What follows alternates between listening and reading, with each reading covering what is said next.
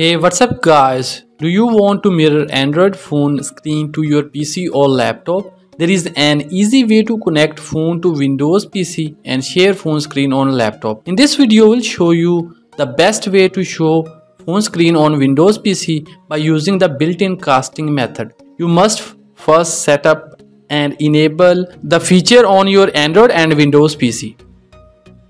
Go to settings and then tap on system.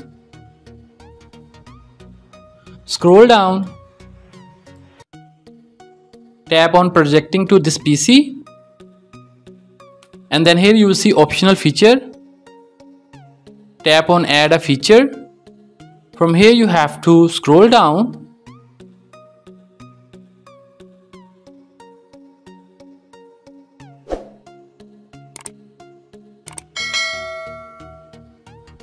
Select wireless display, check the box and tap on install.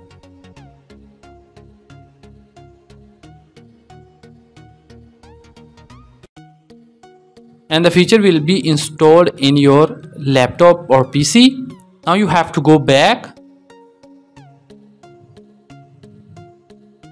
Tap on the first option and select available everywhere. And then tap on launch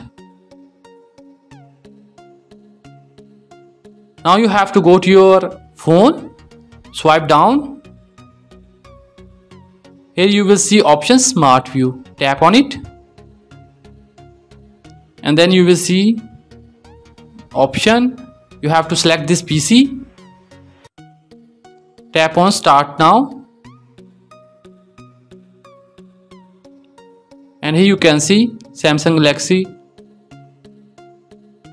our phone is now started mirroring on our laptop. Your phone will now wirelessly mirroring to your PC. Here you can see our phone is now wirelessly mirroring to our PC. Anything you do on your mobile device will show on your computer in real time including audio. Tap the smart view button on your device to cancel the mirroring or disconnect from the PC. So this is the easy way to mirror and show the phone screen on your Windows PC. Don't forget to like this video and subscribe our channel for more useful videos.